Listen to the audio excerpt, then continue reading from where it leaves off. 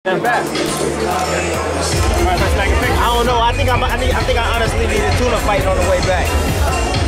So Who will make good for a tune-up rally in your mind? Who who will make a good tune-up fight? Thank you, bud. Adrien Broner. Ah, we would love that. He seems to have a lot of turbulence in his personal Thanks, life right now. What, what do you make of that? I mean, is he mentally ready? I, I don't know. I don't know, but I think that'll be a good tuna fight for Adrien Broner.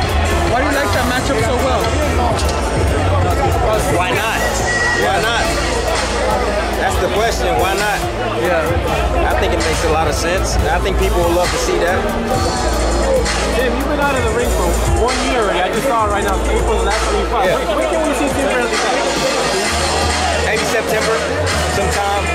Yeah, maybe maybe September sometime. We, Did you want to take? talking. Did you want to take that break on your own, or did it kind of just happen? that way? It kind of just happened that way, but you know what? I believe that everything happens for a reason.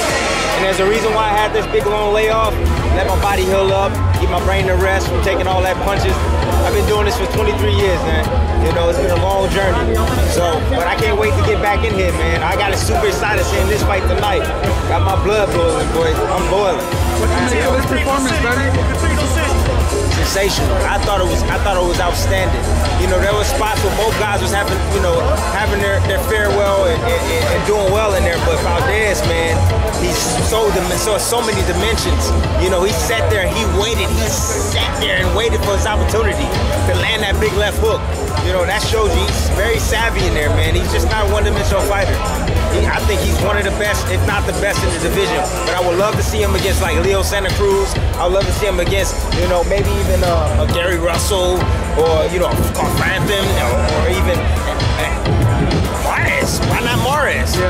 that makes for you know an exciting fight. But he was in there tough tonight, matched tough tonight against a big puncher.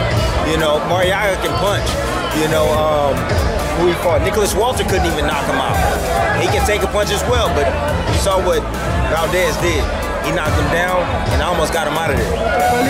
Sets in a fighter's mind when you're fighting, when you know you're facing a big puncher? It's just like you've been in there with big punchers like Provodnikov and Manny Pacquiao. What goes into your mind knowing that you're going in with a fighter that could knock you out with one punch?